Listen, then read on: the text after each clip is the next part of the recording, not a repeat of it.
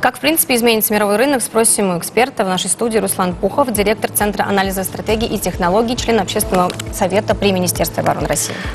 Руслан Николаевич,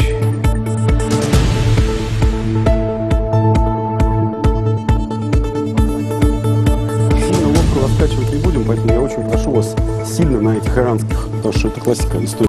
Есть, а слова нет, да? Мы все знаем, что они иранские, но власти не признали. Руслан Николаевич. Да, приветствую вас, Руслан Николаевич. Давайте начнем с того, как, в принципе, изменится мировой рынок производства.